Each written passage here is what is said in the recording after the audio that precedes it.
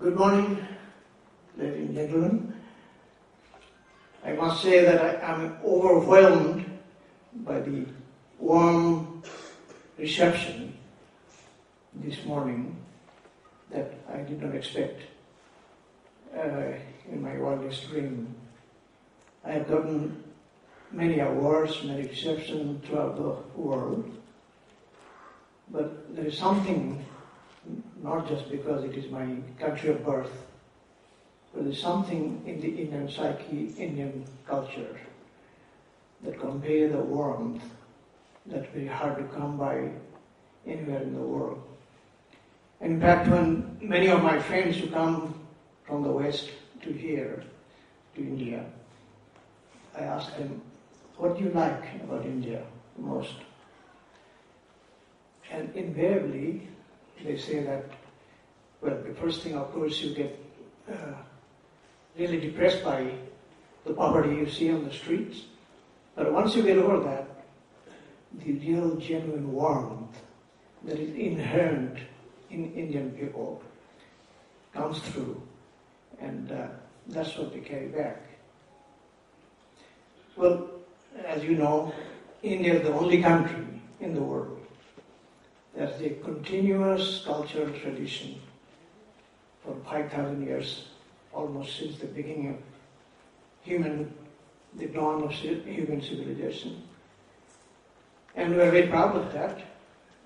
And there has been invasions, there has been people who have tried to take over India. But fortunately, we have been able to assimilate them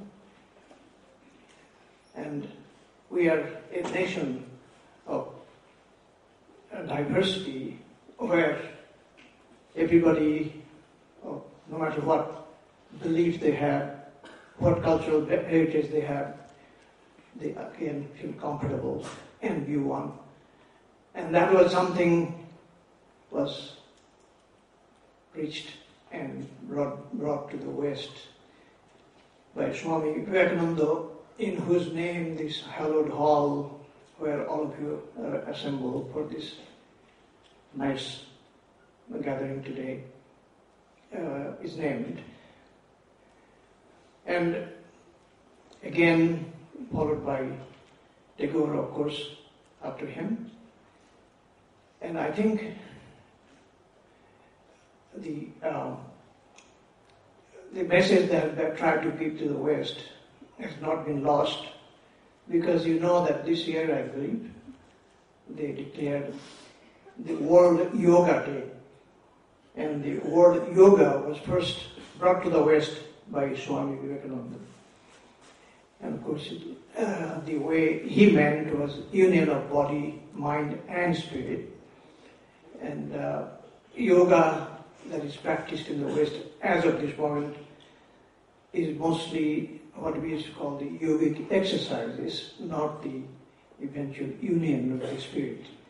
But I believe at least we have made a first step in that direction globally, and only when they realize the benefit of it, the rest will come. So the, uh, this morning, I really feel deeply honored that all of you has come on a workday, week, week, weekday, uh, to listen to some of my thoughts, and I hope you go back and ruminate on that. And I hope I can convey something to you that will be useful to think about and useful in your life to make all of our lives better. My job is easier because not only our tradition. The whole program started with Vedic chanting. So, especially uh, people in India are exposed to it, although we do not think about it, but deep down in our psyche, somewhere, it resonates. The words of the gifted rishis of the ancient times. Snennantu Rishe Omritashaputra, implying that we are all part of the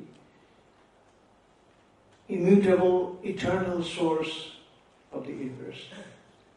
And it has been repeated again and again in various forms. Aham Brahmasmi. I am Brahma. I am inseparable from Brahma. Not just part, inseparable from Brahma. Tattvamasi. You are also that. Again, they have said that not just you and me, Sarvam Khalvidam Brahma. Brahma, the source, exists intertwined inseparably with everything, not just you and me, but everything you can see in this universe. Well, this has been the uh, wisdom that has been gleaned through contemplation over eons, over uh, millennia in this land of India. But today, we live in a scientific society, technological society which has been spawned by science. So, we have to authenticate, or rather give support, scientific support, to our wisdom that has been handed down to us. Because can you think of life today without your cell phone, with your computer, with your internet, all the gadgets that we use? Has given us some sense of confidence in the method of science. The only thing science cannot do is give you experience, but science does a good job of which experience is right, which experience could be wrong. And in fact, as you know, sometimes people say, what happened to all the theory, all the great philosophers of yesteryear? All that, they have become theoretical physicists.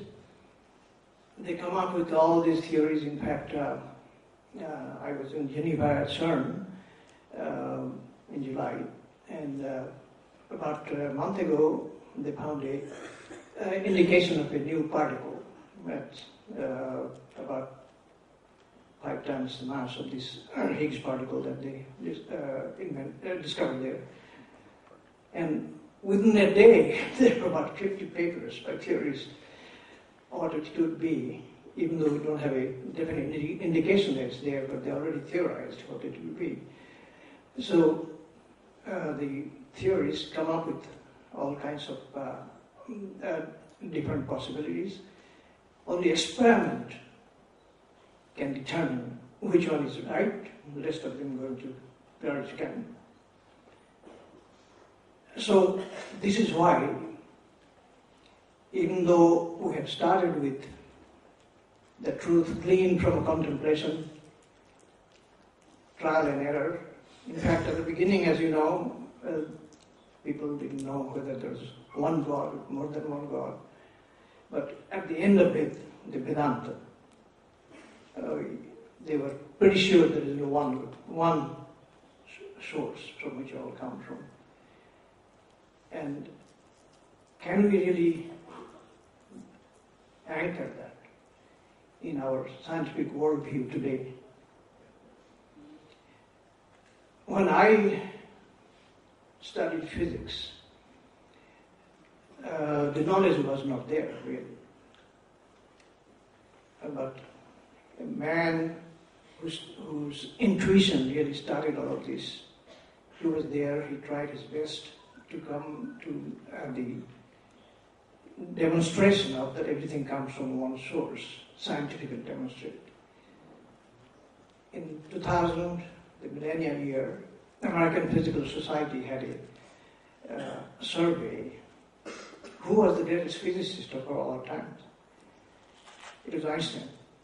Albert Einstein was uh, voted to be the best physicist ever. He himself said, of course, that he was not a mathematician. He said, if you have trouble with mathematics, mine is higher, mine is bigger. And uh, he was not being modest, actually, mathematically, he was not a genius, but intuition with new ideas that he came up with really changed the whole thought process of the scientists. At the beginning of the 20th century, uh, when he published his special relativity and E equal mc squared, he was a patent clerk. He didn't even have a position as a professor because he was last in his class, and his professor said, You're a lazy dog, you'll never be anything. If anybody ever tells you that, don't believe it. Because Einstein has proven that, that, uh, uh, that uh, even though he was away from academia and being a patent clerk, and uh, at, at, home he was having his son in one hand and with a candlelight writing pencil and paper. Uh, so all these thoughts, all this contemplation actually was very similar to our Yogi Rishi's method, except that Einstein's ideas now has been verified to a very, very high accuracy. And he's the one who really was responsible for our understanding of modern physics, which started in the 20th century actually. Uh, he not only came up with the special and general theory of relativity, also he was really initiator and the father of quantum physics. Even though Max Planck came up with the idea of a quantum of energy, bundle of energy, but he thought it was just a mathematical oddity, didn't have any reality behind it. It Einstein who actually took it seriously and showed that it is indeed real. And uh, with his uh, push, with his uh, uh keen interest, he pushed both the two pillars, quantum physics, relativity, on those two pillars that modern physics stands. And it's really amazing to uh, think that uh, near a century ago, we didn't know what the inside of an atom looks like. We didn't know if there's another galaxy apart from our own. In the invitation letter, you have seen a picture of the galaxy we are of in a galaxy similar to that, but uh, the, uh, since we are inside it, we can take a picture of it. But that galaxy that have seen the picture is actually something very similar to our spiral galaxy out, outside our galaxy, so that we can take a picture of it. But now, with the help of Einstein's intuition and his, uh, with the World Society of Scientists, we really are fortunate to have a holistic view of what this, uh, at least the material world, is like. We can, with a lot of confidence today, based on the two pillars that Einstein started, say how this whole universe was like when it started, how it developed, and how is it working today, and what is our place in it. And I'd like to share some of those thoughts to you, and you'll see how uncanny it is. This blows your mind that the gifted rishis that recognized the reality, the nature of reality, is to the T similar to what modern physics is finding out. How could it be? Isn't that, isn't that surprising? That's me at least. And that's why I wrote that book, Code Name God, where I've given all the details. I'm sure that uh, I would not be able to give you the perception that I have so far. To me, it's like as true as I see you.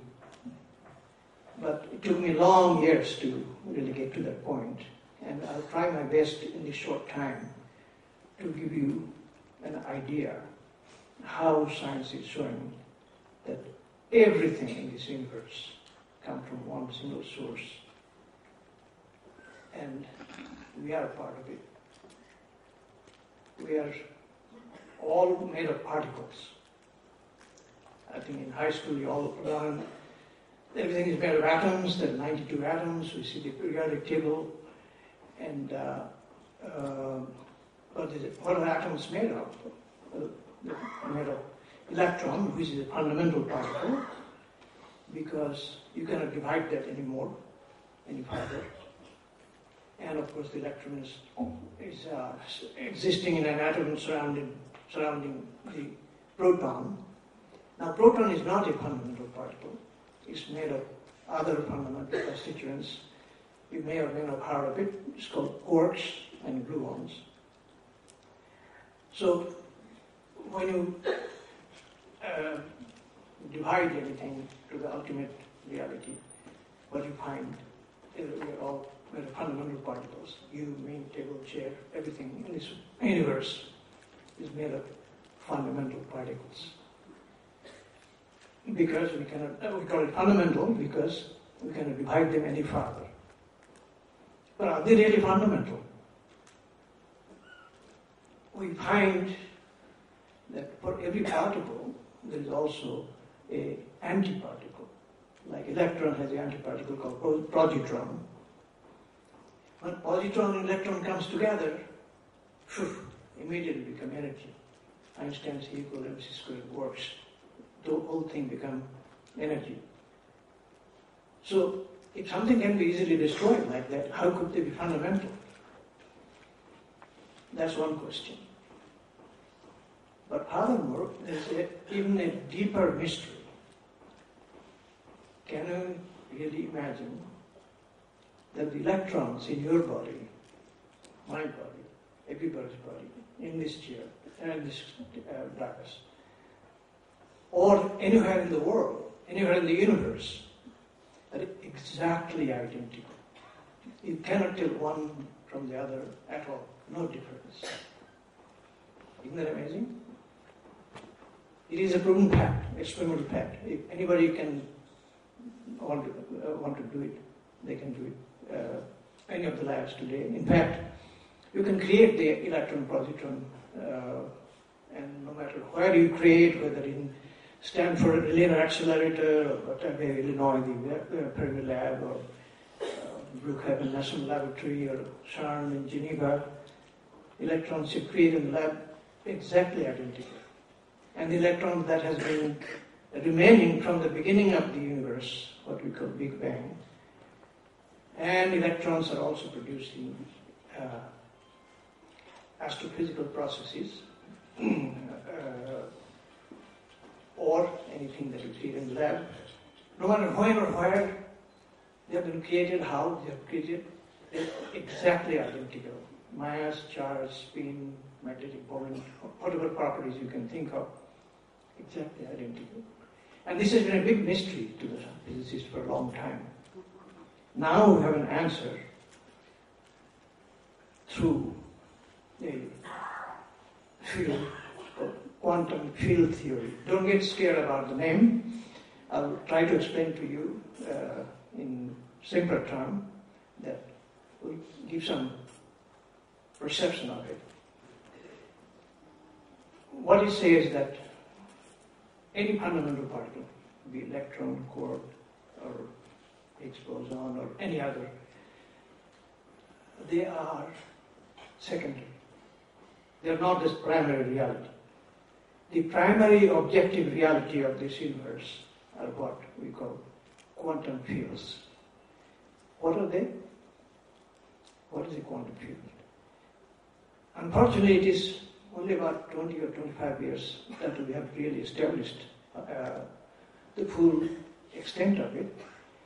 And so much so that most of the physicists even are not fully aware of all its qualities. Only particle physicists who deal with it are more, more uh, familiar with that. But I think that one of the reasons that it really involves very esoteric mathematics, the one of the highest uh, mathematics that one could come, probably this, uh, other a hard one is the string theory, but uh, the quantum field theory involves a very esoteric mathematics. That's why it's a little hard to really get a full grasp of it. But fortunately, it is possible to convey in a narrative to you, especially the analogy, what, what it is like, given perception. And it is very important for understanding the scientific anchoring of unity, of one source, that we everything comes from one source. So please try to get a feeling of it. Now I'll try to do that with an analogy. We are all familiar with a force of gravity, the field of gravity, which is spinning you down on your seat. But you know very well that you cannot see it, you cannot touch it, go our daily life without even thinking its existence, but try to jump or try to get up your seat, get up from your seat. You'll feel it. We're fortunate that at least we can feel the uh, what you call manifest field of gravity. Why do I call manifest field of gravity? This is the so-called classical field of gravity, which has a source. Matter produces gravity. So it has to have a source. And second, that it falls off with the distance. Like for instance, if you go away from Earth with rocket ship, in space you don't feel that gravity uh, because it has gradually decreased. It is continuous, you know, matter is uh, particles and they're separate, but fields are continuous. That's the difference between particles and fields. That, again, let me repeat that.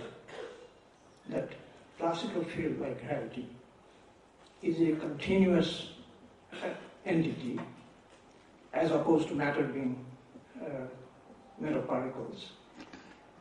But this field has two characteristics. One, it has to have material source and it falls off with distance.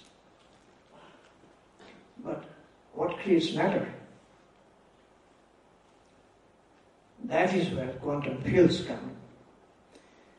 The, they are also fields in the sense that they're continuous and of course abstract. You can see or touch. In fact, we are fortunate to feel the effect of gravity, but quantum fields we have no way of uh, perceiving in, in, a, uh, in our sensory way.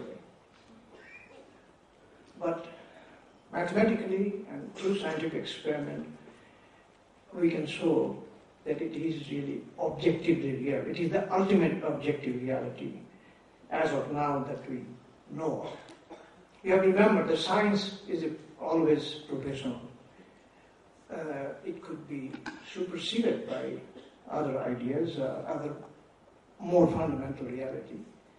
But it would not be thrown away. It would, have, it would have to, any theory, new theory has to make room for it. And in fact, I should say that uh, there are various quantum field theories. In fact, we do not even call them a theory because they're more of a framework. We, the definition of a theory is when it is mathematically consistent and it can predict results that can be verified. And so particular part of quantum field theory, what we call the quantum field theory of standard model of particle physics, is something that has been established almost beyond doubt. Through, through so too many experiments and too many uh, uh, predictions have been verified. And just like periodic table of elements, we have a periodic table of elementary particles, and all of them nicely fits with this quantum field theory of standard model of particle physics, except for gravity. Uh, gravity is not been incorporated and that is the forefront of uh, research in particle physics as well as high energy physics, which Professor Gross is uh, one of the uh, participants.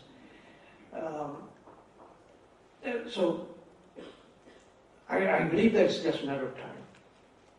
I have not met any physicist uh, who doesn't believe that we will actually get quantum gravity into this uh, scientific uh, paradigm of today.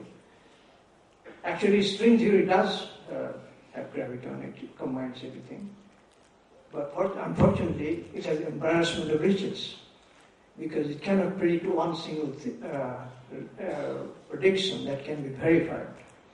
So the biggest push now is how to connect string theory to quantum field theory of standard model, uh, so that we'll have a theory which will show that all of these particles, forces, they're uh, coming from one single source.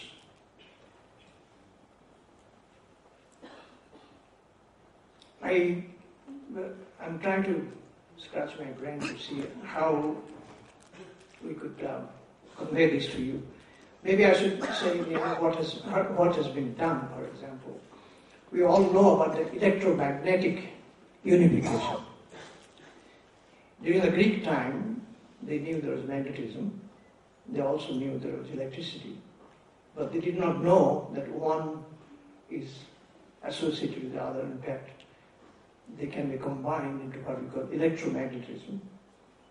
Because if you have a moving magnetic field, magnetic, magnetic uh, pole, for example, it will create um, electricity. That was shown by Faraday, and that gives the idea of the field at the time, the classical field. And now it has been pretty much well established that electricity and magnetism are really different aspects of the same uh, uh, field, electromagnetic field. The next step came when another field called we call weak field, which is inside the nucleus. It is actually not very weak. It's weak in our perception because it cannot get out of the nucleus. Its range is only 10 to the minus 16 centimeter, much 10,000 times smaller than the nucleus. It may be weak, but without that, we would not exist because the sun's energy is what sustains us, one way or another. Uh, the food we eat has been manufactured by sun's rays through the chlorophyll into vegetables, and uh, and they have been eaten by the fish or any other meat we eat. So, the eventual source of energy is the sun, even today. We use fossil fuel which has been stored, of course, but without sun, there will be no energy and we will not exist. And sun cannot produce that energy without that weak force. So there is an extremely different characteristic of the electromagnetic field and the weak field. To begin with, electromagnetic field can go from one end of the universe to the other. Uh, the photons that we're seeing today from the beginning of the universe, uh, started about 14 billion years ago, uh, they have been traveling all this time, and we can see them through the telescope. So they can go from one end of the universe to the other. But the weak field cannot even get out of the nucleus. This uh, field of activities inside. So how could they be really united? How could they be coming from one source, what we call electro-weak force? But theorists came up with the idea that this is how they can be combined. And for that, of course, they got Nobel Prize. and few years later, if there is a field, there is always a particle associated with it because excitation of that quantum field is a particle. Uh, they, they realize that uh, indeed the particle predicted by the theorist for the electroweak unification, what we call the W and Z bosons, they actually exist, and they got Nobel Prize for that too. And when the physicists realized that such diverse forces can be actually coming from one single source, uh, that really breaks the barrier in their mind that indeed everything else, even though they're so diverse, they can be actually coming from one single source. So far, we have Uh, theories of combining, how to combine the strong force with that, and at the same time, you can combine all the bosons and the fermions as a group. And so, the final push towards the unification is how to combine gravity and all the bosons and all the fermions. And everybody, every physicist has a gut feeling that in, in not too distant future, we'll be able to do that.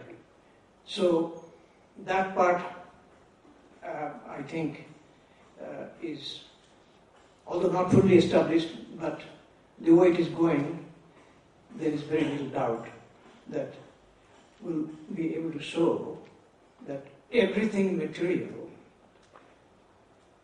at least everything material in this universe, come from one single source.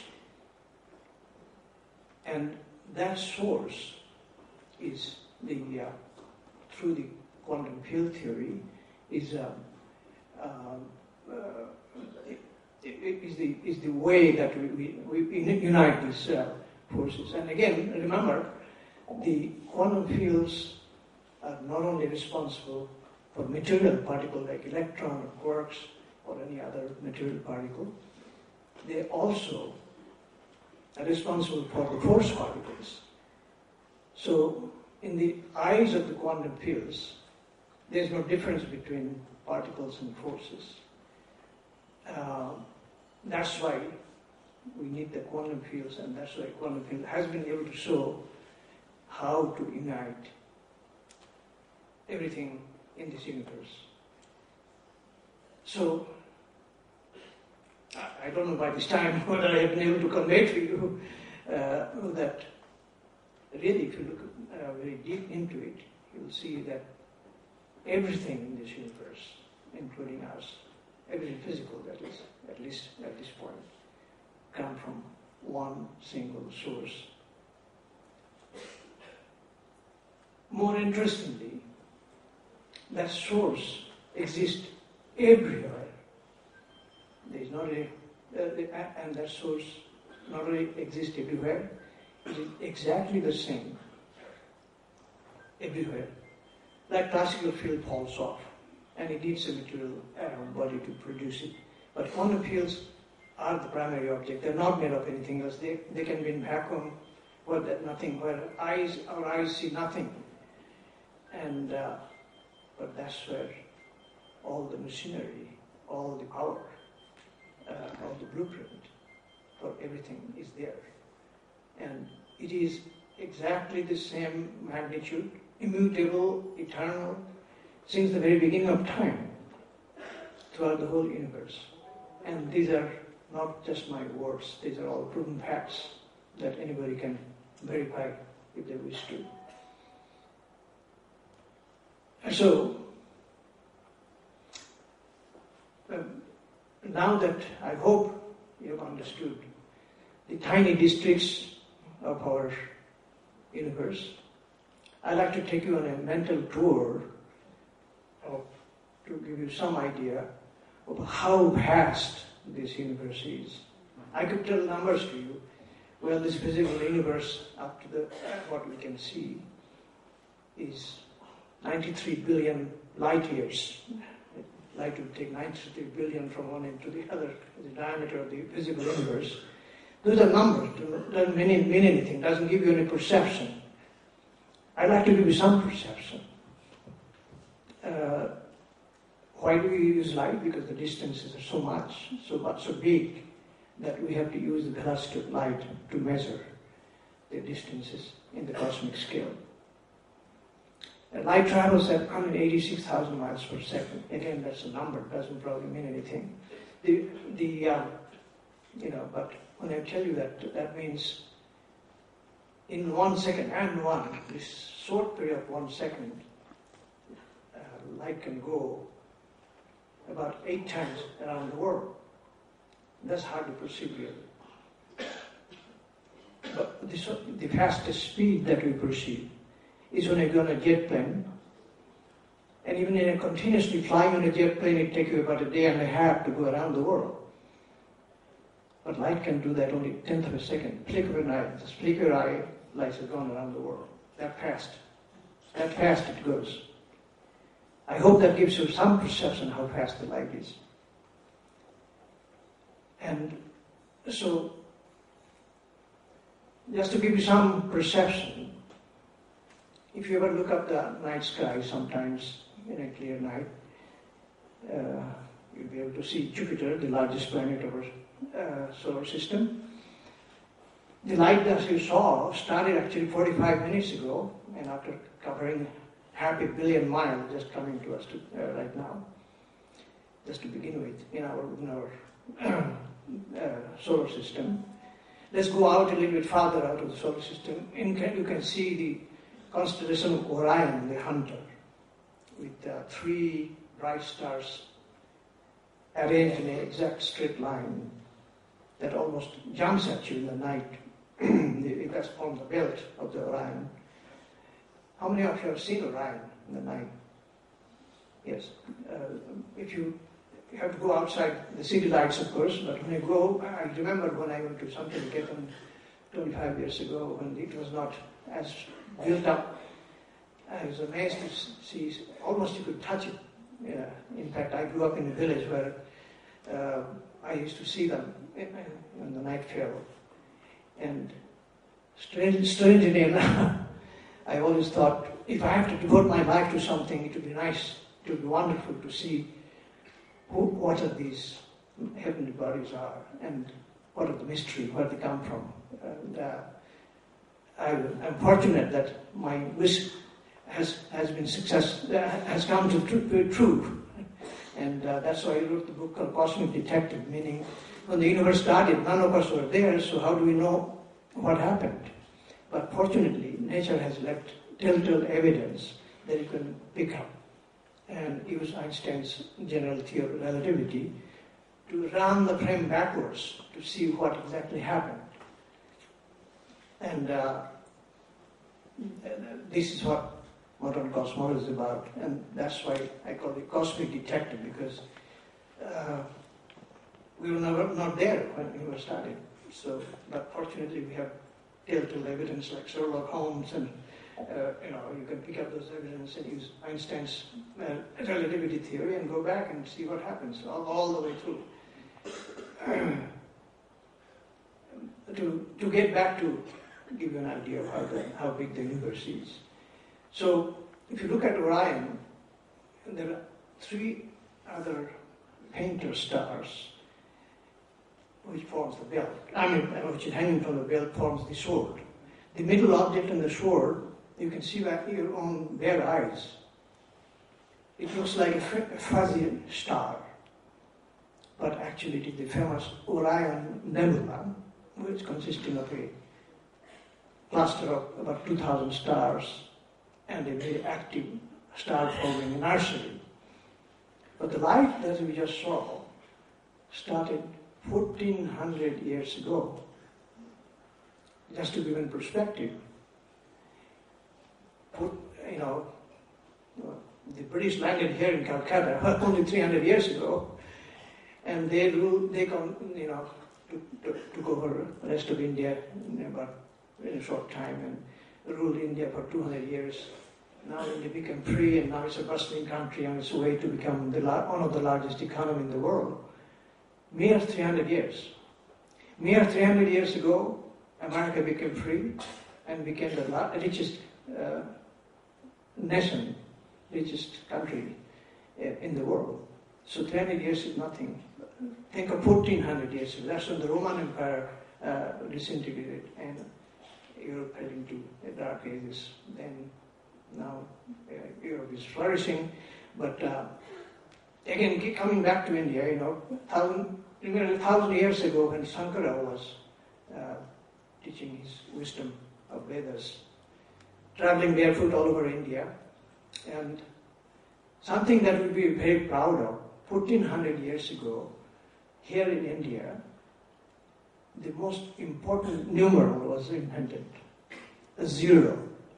Zero is the most important numeral in all of science and mathematics. Without zero, there will be no computer, there will be no uh, uh, algebra, geometry, uh, uh, calculus, and all that. Um, that was 1400 years ago, the Gupta period. During all this historical period, just in your mental journey, try to think, going at the speed of tenth of a second around the world at that speed, coming from 1400 years ago, light coming from something that you can see with the bare eyes. It's, it's, it's like you see anything else with your bare eyes, you can see that Orion Nebula. Yet the photon that you're seeing has been alive for 1400 years and coming to us today after traveling at that high speed. So gives you some idea of how far it is. And now you can go to outside our, our, our uh, galaxy. Our nearest galaxy is Andromeda, and light from there that we just saw, we can actually see it if your eyes are good, or you can use a small binocular next to the constellation of Cassiopeia, uh, uh, the uh, Cassiopeia, the W shape. Uh, you will see faint patch of light, and that's from our nearest large galaxy, Andromeda. The light that you're seeing today started two and a half million years ago. Again, to give you a perspective, our hominid ancestor, Homo habilis, just barely human, they were foraging around in Eastern Africa in a temperate zone two and a half million years ago. In two and a half million years, they developed the human, modern human, and uh, spread through the entire earth, and brought this modern civilization. Now, all these two and a half million years, light has been coming at the speed of tenth of a second around the world. For two and a half million years, can you imagine? Just, just try to let your mind fly, fancy, and how far is it? It's just mind-boggling. It's really unimaginable. If that's not enough, let me tell you that there are another at least 200 billion such galaxies homogeneously distributed in a large scale of the visible universe. By visible universe I mean as far as light has come, reached us and can, we can see how far it is. Universe is bigger than that, but at least what we see is what we call visible universe. And that is what I just said before, that is 93 billion light years in diameter. In that large scale, the entire supercluster of uh, cluster, supercluster galaxy that we are part of, our Milky Way, uh, the Andromeda, and tens of thousands of other galaxies, all of that almost is imperceptible, imperceptible, imperceptible. You can hardly see it in the larger scale of the physical universe. That gives you some idea, I hope, how unimaginably vast this universe is. And now, the inter- most interesting fact is that the source of everything is present in each element of space-time, each uh, nook and cranny this whole entire universe, and they're exactly the same and they haven't changed at all. They're immutable, immortal, just like our Rishi said, through cognition. Isn't that amazing? To, uh, I think, again, to give you an analogy, we're pretty familiar with our genome. The, when we're born with single cell, it is so small that you cannot even see it with bare eyes. But in it is the blueprint of the entire human being that you are, put together by itself without any help from anybody else. It has the intelligence to put together.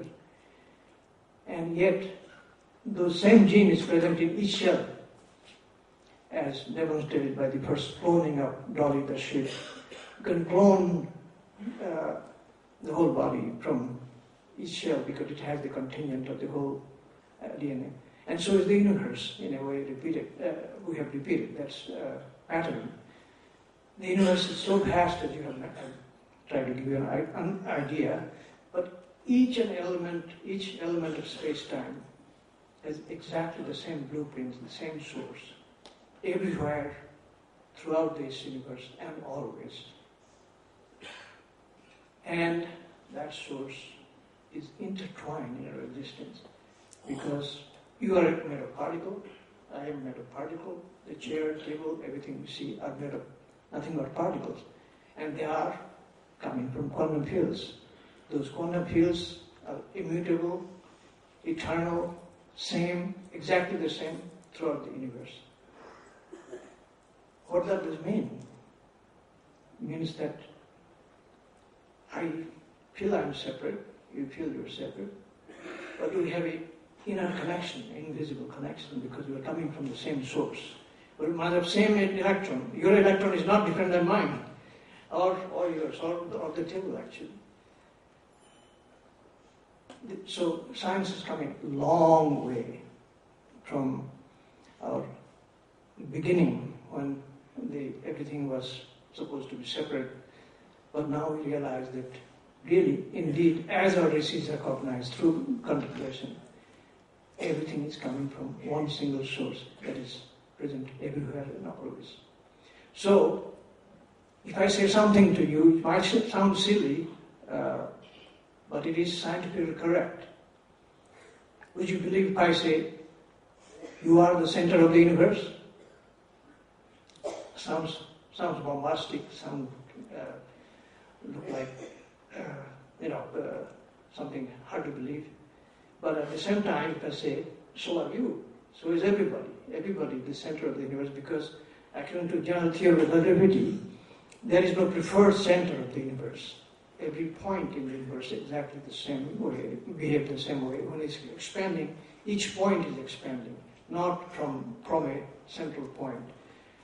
So it is perfectly scientifically correct to say that you are the center of the universe. And the universe is not complete without you. And the source is always with you. If we can understand this, that is our connection of all human beings, all with our nature, with the universe. That will give you the right perspective of our place in this cosmos. Now, I don't know, how much time do I have? Five, ten minutes? Okay. Um, one thing science has not come up with yet. Where does our awareness fit into this? Where does consciousness fit into this? We have done a very good job of showing that everything physical at least comes from one source. A lot of research are underway, but we still need a breakthrough in that regard. The first breakthrough really was done by, or first I should say, most physicists, uh, since they have no clue where awareness comes from, it was almost like a closet in the, uh, you know, consciousness was a closet in the physicist's closet. But uh, with the prestige of Sir Roger Penrose uh, behind him, and with his two books, seminal books, Emperor's New Mind, Shadows of the Mind, he gave very convincing argument that awareness cannot come from computation or is not emergent property. It's a fundamental property of the universe. But how? How is it connected to our own